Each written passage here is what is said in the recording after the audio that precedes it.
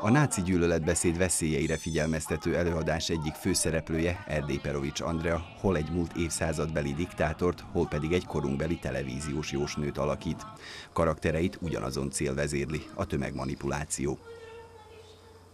Inkább csak a, a, az expresszív és, a, és az erőteljes érzelmi hullámokba próbáltam belekapaszkodni, meg alapvetően a mimikába, a testtartásba, és azon keresztül próbáltam megközelíteni a karaktereimet. Semmiképpen sem az együttérzésből, mert képtelenség volt. Mielőtt még csatlakozott volna az előadáshoz, Krasznahorkai Ágnesnek alkalma volt kívülállóként is megtekintenie a színházi alkotást. A darab mondani valója mély nyomot hagyott benne. Igazából az volt bennem, hogy ez tényleg létezik.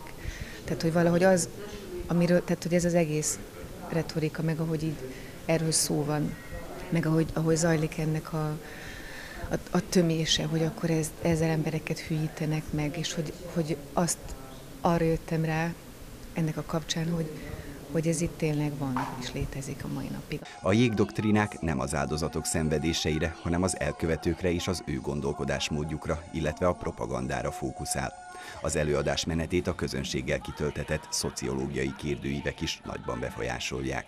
Azt tapasztalom, hogy kevés olyan filmalkotás született, vagy film, vagy színház, vagy, vagy bármiféle alkotás, ami ebből a szemszögből közeledett volna afelé, hogy egyáltalán hogy alakul, hogy hogyan jön létre, milyen apró kis megnyilvánulás az, amire nem figyelnek oda, mi az, ami hordozza már ezt a, ezt a mérget, ahogy tetszik.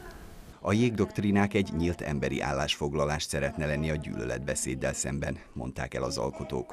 Kapcsoljuk a magyar